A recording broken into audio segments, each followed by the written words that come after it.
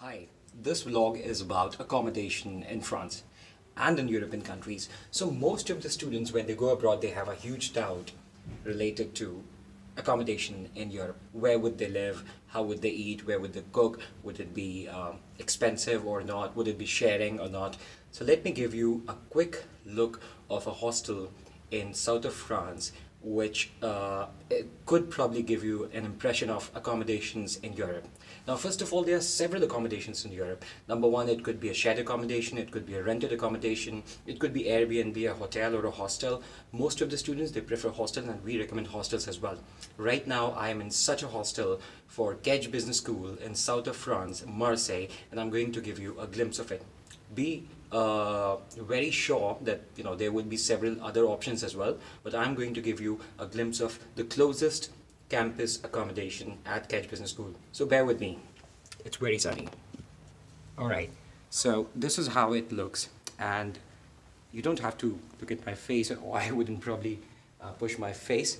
I would just show you how a hostel looks. So this is how it looks like and uh, I'll give you a quick uh, brief of the alley. So this is uh, a hostel life and this is how it looks like.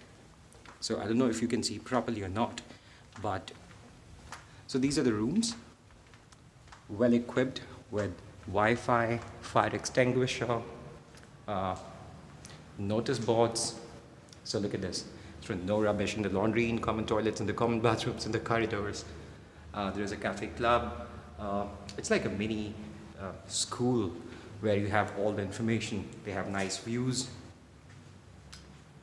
And there are several rooms on each and every floor.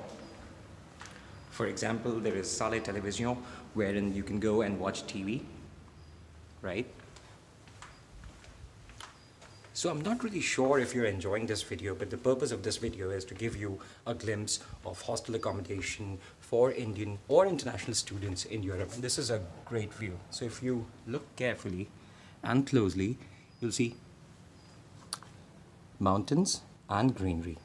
Now let me tell you that right beside these mountains, uh, there is Mediterranean Sea, which is beautiful to watch, uh, turquoise blue water, and let me just give you a little more glimpse of this place.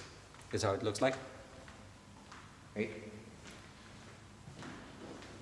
so I'll, I'll, I'll just give you a quick trivia. When I was here three years probably four years ago I was on this floor and I was in this room. Uh, this is a very nostalgic feeling for me.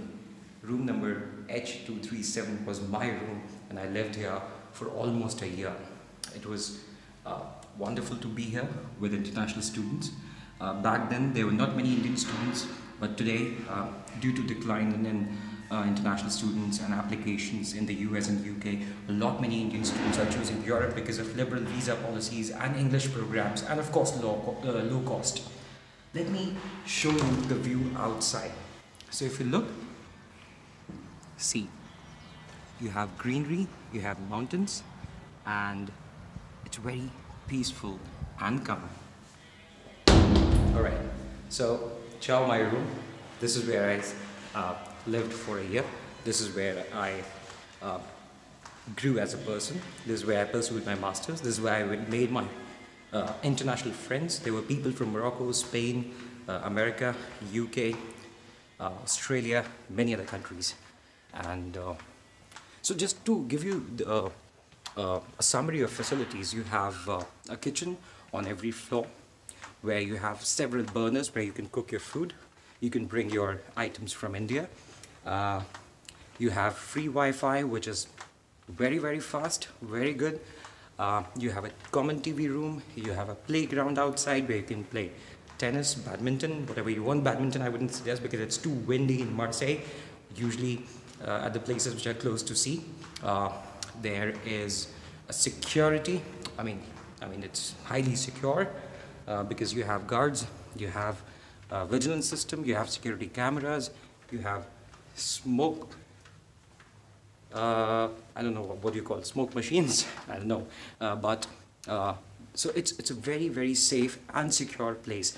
Apart from that, you have heaters everywhere on each floor in every room. You have a refrigerator inside, you have a table, you have a chair, you have a wardrobe, you have a bed, uh, you have technically everything. Now, what about the price of these accommodations? Average price for a student accommodation in France or Europe, depending on the country, of course, and the city, of course, would be around 400 to 600 euros. So the room where I was living four years ago, the price was 392 euros, very close to 25, 28,000 in rupees. Today, it's 392 euros. So I am glad, and you should be glad that it hasn't increased much. Number one. Number two, my room was around 15 meters square. If you want to go for a studio, uh, it would be around, let's say, 500 euros or something. But here is the key part which I want to tell you. Just bear with me for a second.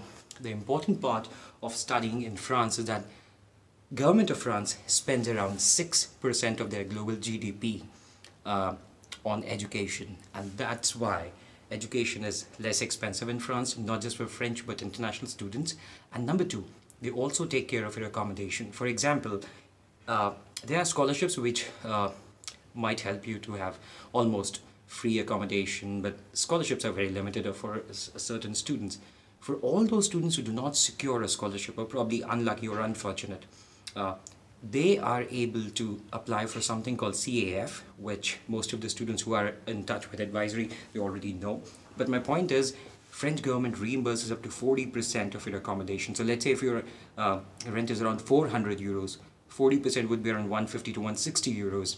To be precise, 160. Uh, students usually get around 150 euros as a reimbursement.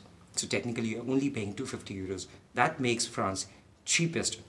I don't like the word cheapest the most affordable and inexpensive destination to study. I hope this video gives you a quick and clear impression of accommodations in France, in Western Europe. Of course, different countries would have different procedures, different kind of accommodation, different kind of prices, but I'm sure you would have a basic understanding now.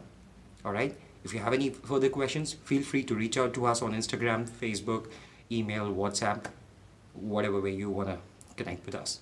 Thank you so much. Uh, we'll be coming up with more such topics in uh, coming days until the time we are in France. And have a good day. Stay warm. Take care.